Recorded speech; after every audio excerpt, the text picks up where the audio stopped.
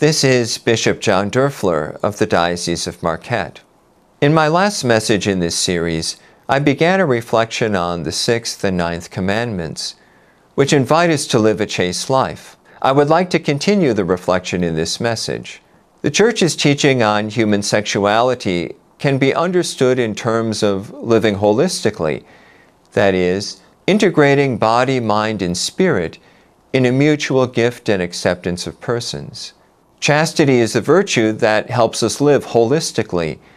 It helps us to integrate body, mind, and spirit to foster the mutual gift and acceptance of persons. By integrating the desires of the body with the mind and the spirit, we will develop the interior ability to say yes to the acts proper to marriage when they appropriately express the mutual gift and acceptance of persons, and no when they do not.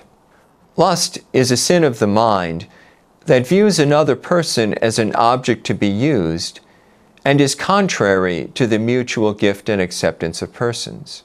Yet, how do we know when sexual thoughts are sinful, when they are acts of lust?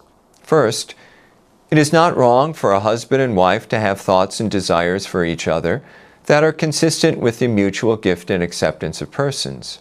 Second, it is not sinful to have a sexual thought just enter your mind about someone to whom you are not married. There is a difference between the normal sexual thoughts and feelings that arise, temptations to lust, and entertaining those thoughts. To be sinful, Lustful thoughts have to be voluntary. In his book, The Courage to be Chaste, Father Benedict Groeschel provides a helpful guide to distinguish mere sexual thoughts from lust. We can ask ourselves three questions. When a thought comes into my mind, did I voluntarily add to or augment that thought?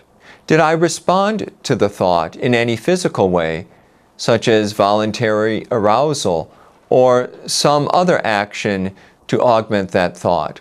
For example, by looking at stimulating images. When I became aware of what I was doing, did I refuse to turn my attention to something else?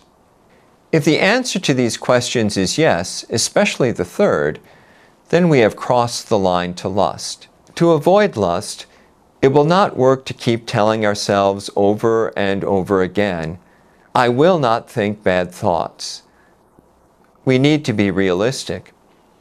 It is part of being human for sexual thoughts to enter our mind. We should avoid being anxious when that happens. Otherwise, the anxiety will just make matters worse. Instead, when we become aware of lustful thoughts, it is best simply to say a prayer and engage our mind in some healthy outlet, such as good music. In addition, we should be careful of what we watch and what we read so that we can avoid temptations to lust. By doing so, we are living holistically, integrating body, mind, and spirit to foster the true mutual gift and acceptance of persons. This is Bishop John Doerfler of the Diocese of Marquette.